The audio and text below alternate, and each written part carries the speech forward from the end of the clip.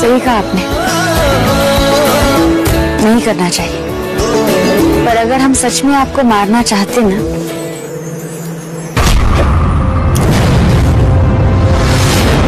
तो कब का मार दिया होता?